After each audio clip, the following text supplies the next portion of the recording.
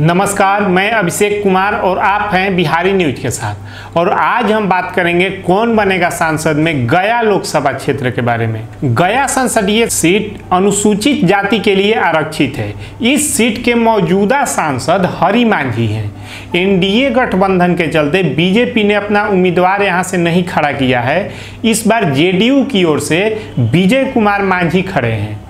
गया संसदीय सीट के तहत विधानसभा की छह सीटें आती है। शेरघाटी बारा गया चट्टी बोध गया गया टाउन, बेलागंज और वजीरगंज बड़ा चट्टी और बोध गया दोनों आरक्षित सीटें हैं। 2015 के बिहार विधानसभा चुनाव में इन छह सीटों में से तीन सीटें आरजेडी, जबकि एक एक सीट बीजेपी, जेडीयू और कांग्रेस को मिली। सोलहवीं लोकसभा के लिए 2014 में हुए लोकसभा चुनाव में गया सीट से बीजेपी के हरि मांझी को जीत मिली थी। हरि मांझी को तीन लाख छब्बीस हज़ार दो सौ तीस वोट मिले थे। वहीं दूसरे नंबर पर रहे राजद के रामजी मांझी को दो लाख दस हज़ार सात सौ छब्बीस वोट मिले। तीसरे नंबर पर जीतन राम मांझी रहे, जो जेडीयू के टिकट पर चुनावी मैदान में थे। जीतन राम मांझी को एक लाख इकतीस हज़ार आठ सौ अट्ठाईस वोट मिले थे। हरि मांझी 2009 में भी इस सीट को जीतने में कामयाब रहे थे, बीजेपी के उम्मीदवार के तौर पर। गया जीतन राम मांझी इस बार महागठबंधन का समर्थन के तरफ़ से खड़े हैं।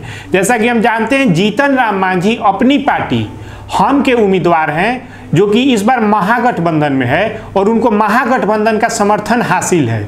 गया लोकसभा सीट पर वोटरों की कुल संख्या तेरह लाख उनतीस हज़ार एक सौ बानवे है, जिसमें कि सात लाख पाँच हज़ार आठ सौ चौहत्तर पुरुष मतदाता है। वही महिला मतदाता की अगर हम बात करें तो छः लाख तेईस हज़ार तीन सौ अट्ठारह महिला मतदाता है।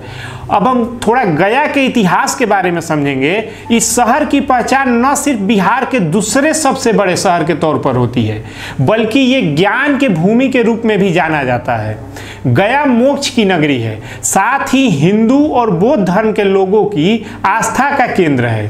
फल्गु नदी के तट पर बसा बिहार का दूसरा सबसे बड़ा शहर है।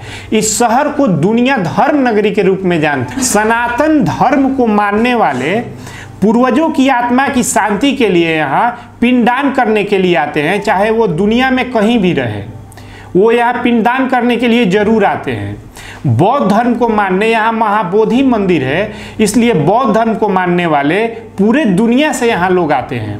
और बोधि वृक्ष का दर्शन करने के लिए आते हैं। जहाँ बोधि वृक्ष के नीचे महात्मा बुद्ध को ज्ञान की प्राप्ति हुई थी। गया कई मामलों में ऐतिहासिक और धार्मिक महत्व के स्थल है। यही कारण है कि यहाँ सालों भर पर्यटक पूरी दुनिया के अलग अलग देशों से आते ही रहते हैं। भारत ही नहीं, दूसरे कई देशों के लोग गया आते हैं और अपने धार्मिक स्थलों पर पूजा अर्चना करते हैं। इसी तरह अगर गया के बारे में हम बात करें तो गया का मगध विश्वविद्यालय बिहार का बहुत ही पुराना और बड़ा विश्वविद्यालय है।